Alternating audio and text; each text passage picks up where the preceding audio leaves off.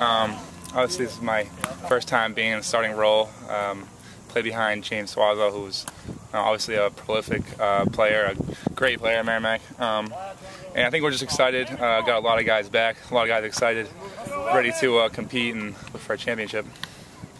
Well, it's a lot of fun, it is. And, um, you know, the responsibility that um, it gives to the quarterback is something that, you know, I really take, um, you know, to heart. You know, it's something that I really need to work, uh, practice. You know, I can't take plays off because the offense will take plays off.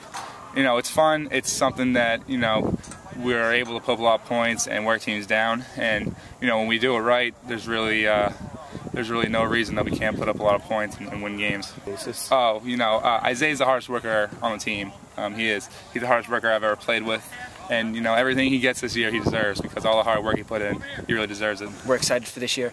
Um, this is the best team that we've had um, in a while. Um, the family that we have and the brotherhood that each of us have and the bond we have um, is going to carry us a long way this upcoming year um, thing with Clancy is that he's improved immensely.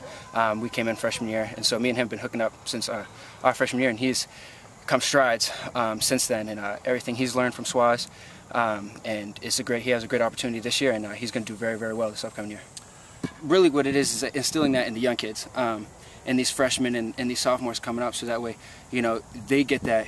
They get that feeling, you know what, I have someone that's out here working hard, I need to go out here and work hard. And when everybody starts working hard and giving their 110%, even out here in practice in a PAT or a kickoff return, um, something like that, that's going to overall improve the, the play of the team and our, our level of competition.